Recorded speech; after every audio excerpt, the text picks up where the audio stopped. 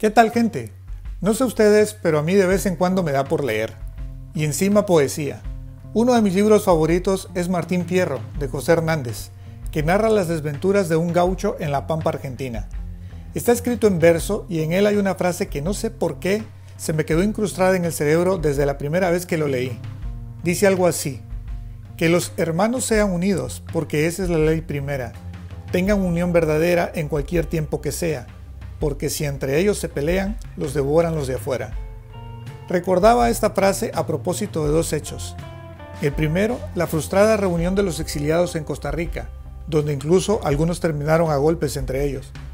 Y el segundo, la cínica grosería de la dictadura al otorgarle la ciudadanía nica al corrupto prófugo de la justicia salvadoreña Mauricio Funes. A los nicas nos jode la dictadura hasta el punto de dejarnos sin patria, y como no nos basta con ello, Luego nos jodemos entre nosotros, mientras los de afuera vienen a devorar nuestra dignidad, a llamar hijos de puta a los periodistas independientes, a burlarse de nosotros y encima a cobrar miles de dólares de nuestros bolsillos en puestos fantasmas creados a su medida por Ortega y Murillo. Es hora de reorientar nuestra indignación y afinar la puntería, o nos terminarán de devorar. Bueno, por hoy creo que con esto es suficiente. Cambio y Tchau.